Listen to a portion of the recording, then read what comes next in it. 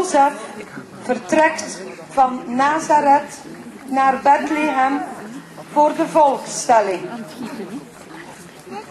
Hij gaat samen op weg met zijn verloofde Maria, die zwanger is. Hoogzwanger. Want in Rome regeert in die tijd keizer Augustus. En die man wou dat iedereen geregistreerd werd in de stad of het dorp waar hij of zij geboren is. Maria is al wat moe van het vele stappen op die lange tocht. En ze kijkt uit naar een plekje waar ze wat rusten kan.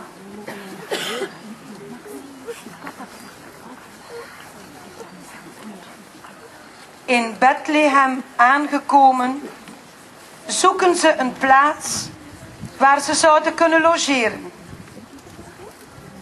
Nadat ze in een herberg er geen gevonden hebben, ontdekken Maria en Jozef een andere plek waar zij haar kind ter wereld zal kunnen brengen. Dus zal het kindje Jezus dit jaar in een stal geboren worden.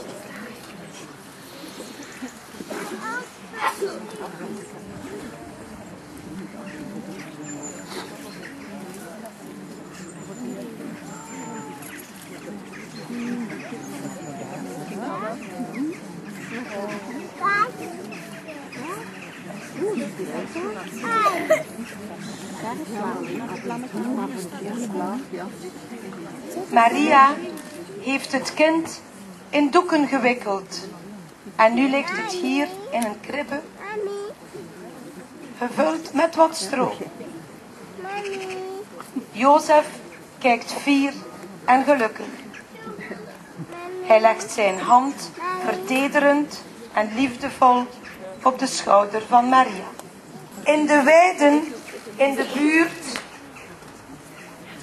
zijn er twee herders die een praatje maken met elkaar. Terwijl ze de voorbije nacht de wacht hielden bij hun schapen.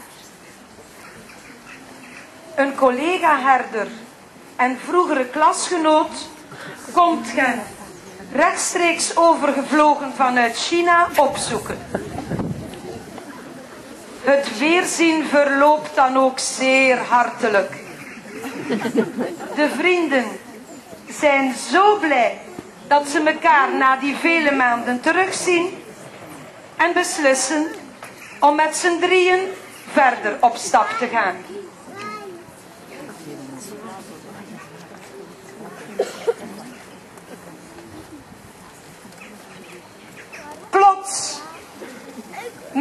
Ze een heldere ster op in een boompje.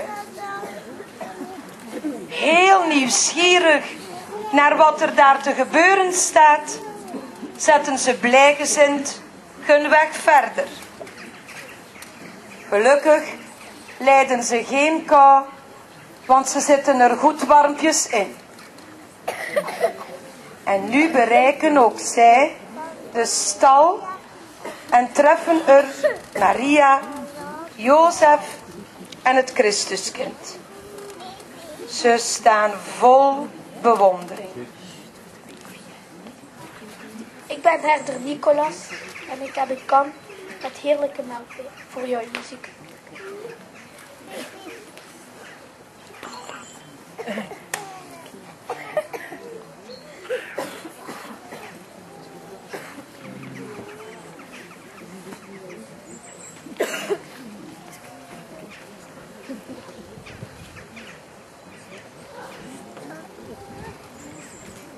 Oef, ik, Lucas, ben er toch op tijd geraakt. Mijn vliegtuig vanuit Shanghai had gelukkig geen vertraging, want ik wou dit hier voor geen geld van de wereld missen. Hou hou shui ba bouw bouw. Dat is in Chinees Jezus slaap zacht.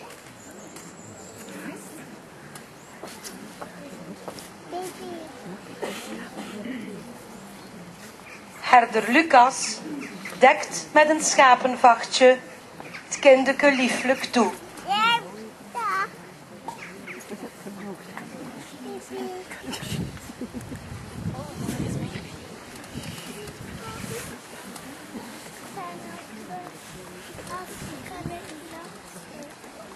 Ik, herder Elias, de kleinste van de drie, wil de kinderen een goede dag aan en mijn lantaarn hier stal laten staan, zodat het een beetje licht is bij het donker.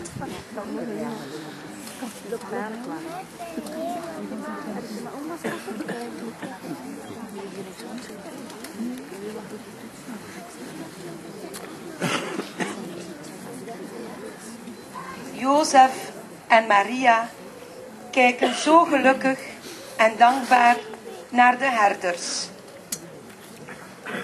Herder Elias laat ons nu genieten van een muzikaal intermezzo gebracht op keyboard.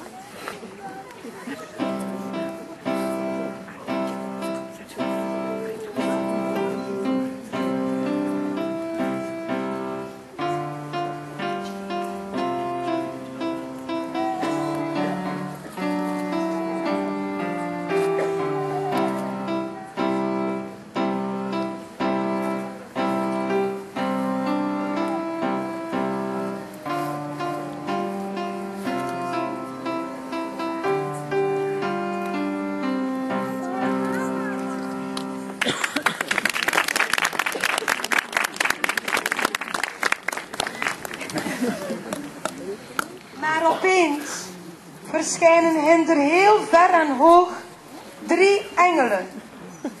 Kijk, ze wuiven ons goeie dag.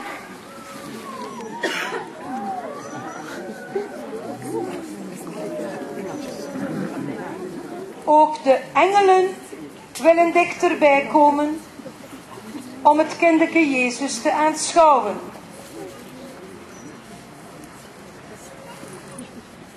In hun hemelse gewaden schrijden ze langzaam voorwaarts richting de stal van Bethlehem. De regen kan hen niet deren, want ze willen er ook bij zijn. Ze komen alsmaar dichterbij En nu bereiken ook zij de sobere stal.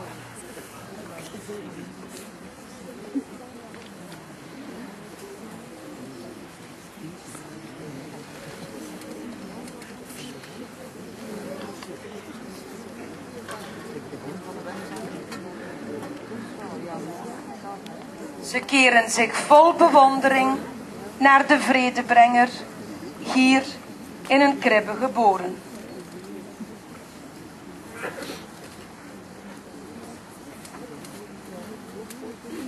Engel Pauline. Kindelijke, ik wil je zachtjes aanraken en je zo duidelijk maken dat ik er steeds ben om je te troosten als het nodig is.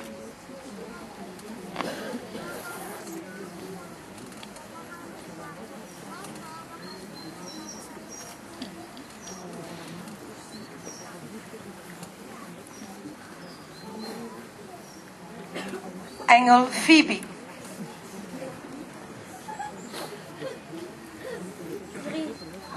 Vriend, ik zal steeds proberen om jou gerust te stellen, zodat je nooit bang hoeft te zijn.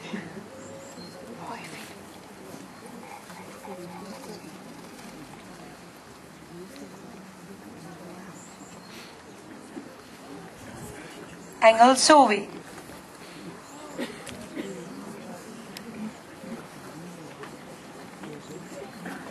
Beste medemens, ik wil je proberen steunen, zodat je kracht hebt om er te zijn voor wie je nodig heeft.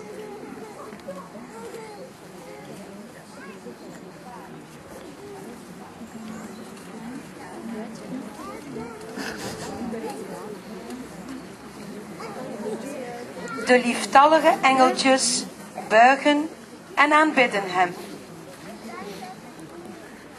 Jozef en Maria tonen hun grote dankbaarheid aan de engelen met een hartelijke en vriendelijke blik. Maria knipoogt zelfs naar ons allemaal.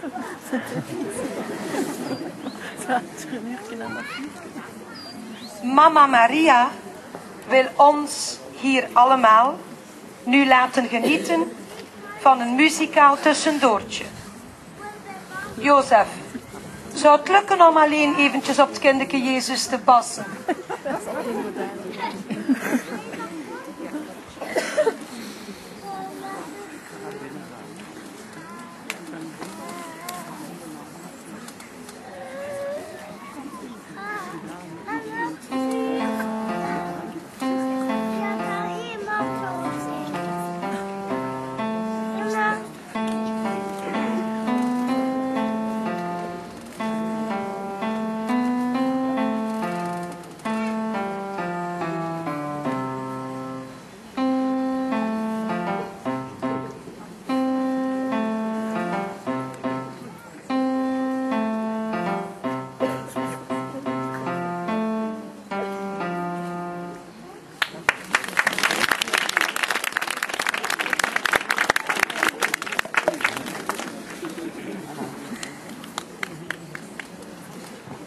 Beste mensen allemaal, dit is onze kerstmis voor jullie samen.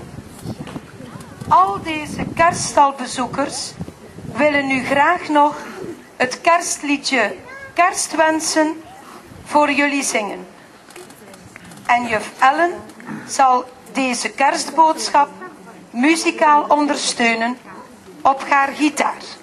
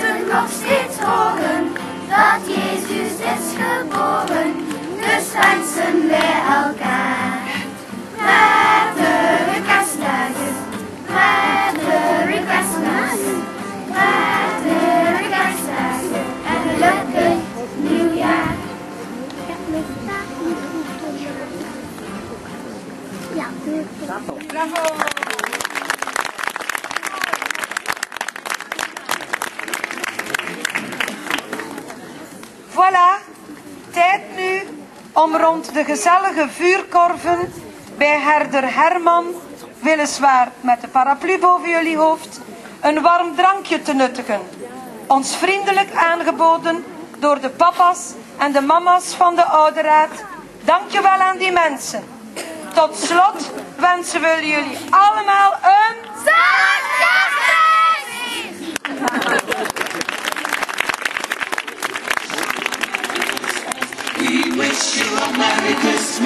and I'm happy new.